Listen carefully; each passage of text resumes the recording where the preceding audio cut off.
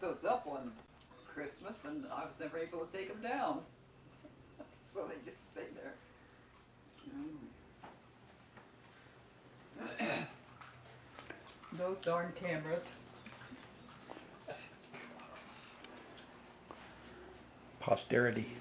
Yeah, well, it's nice, but Wide leg jeans.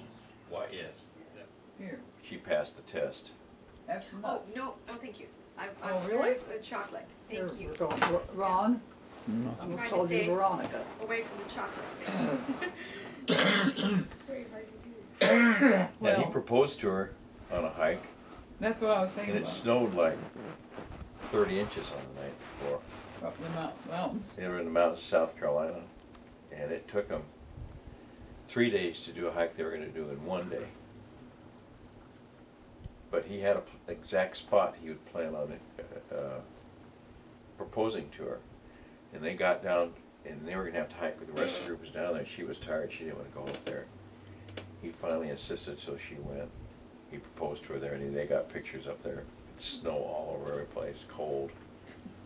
I mean, they they were hiking places where you had to put all your hiking gear at a certain place because at night the rats would come and get it while you were sleeping. I remember them telling that, and I forgot about it, that's terrible. Terrible.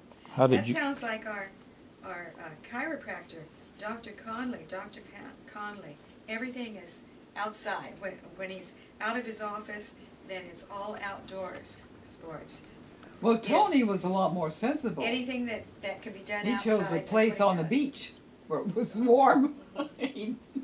he, he had a nice place chosen to do his proposal, but uh, I thought how much more sensible that was than what Bill did.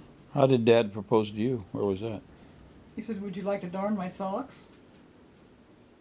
Where'd you say that? Huh? Where? That is priceless. Oh, I don't know It's where we were in the car It's somewhere. her, is it? I mean, it is. And he he said that? Would you like to darn my sock? Yeah, that's what he said. I think that's I about just the can't only get over proposal how I really you- got. I you don't love know. You instantly love all he three wanted of to really get I married because of the war to it. coming and just- everything. I wanted to wait another year. just, uh, But uh, he, was- he knew he'd be drafted, so They are so I don't remember how that was settled. I